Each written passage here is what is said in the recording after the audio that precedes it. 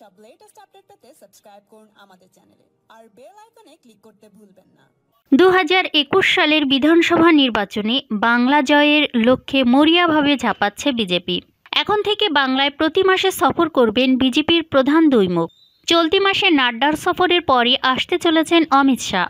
আর অমিত শাহ রাজ্য সফরে আসার আগেই ডায়মন্ড হারবার কাণ্ডে মুকুল রায় যেভাবে রাষ্ট্রপতি শাসনের দাবি তুলেছেন, তাতে জল্পনা জোরালো হচ্ছে। রাজ্যে তিনশো ছাপ্পান্ন ধারা লাগু নিয়ে রাজনৈতিক মহলে গুঞ্জন উঠেছে। কারণ নাড্ডা ইস্যুতে রাজ্য সরকারের উপর যে কেন্দ্রীয় সরকার যথেষ্ট রুষ্ট হয়েছে, তা বলাই বাহুল্য।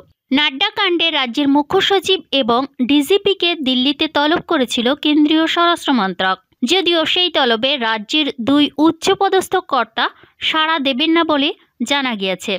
এই পরিস্থিতিতে অমিত শাহের বাংলা সফর যথেষ্ট তাৎপর্যপূর্ণ বলে মনে করছেন রাজনৈতিক মহল। তার উপর রাজ্যপাল জগদীপ ধনকর নাড্ডা কাণ্ডে সাফ জানিয়ে দিয়েছেন, রাজ্যের মাননীয় মুখ্যমন্ত্রী যদি সাংবিধানিক দায়িত্ব পালন না করেন, তাহলে সেই দায়িত্ব তিনি পালন করতে বাধ্য হবেন। ফলে রাজ্যে তিনশো ছাপ্পান্ন ধারা লাগু হওয়া যে গেরুয়া শিবির ধীরে ধীরে জোরালো করার চেষ্টা চালাচ্ছে তা বেশ স্পষ্ট। ইতিমধ্যে নাড্ডার গাড়ি শহরে ভাঙচুরের ঘটনায় বাংলায় রাজনৈতিক তরজা চরমে উঠেছে।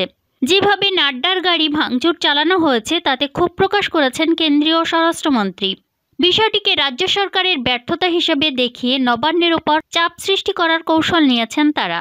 তার উপর ওই ঘটনাকে তুলে ধরে বাংলায় আইনের শাসন নেই বলে বিজেপি নেতা মুকুল রায় সহ অন্যান্য বিজেপি নেতারা যেভাবে সরব হয়েছেন তাতে রাজ্যে তিনশো ছাপ্পান্ন ধারা লাগুর ইঙ্গিত থেকে যাচ্ছে।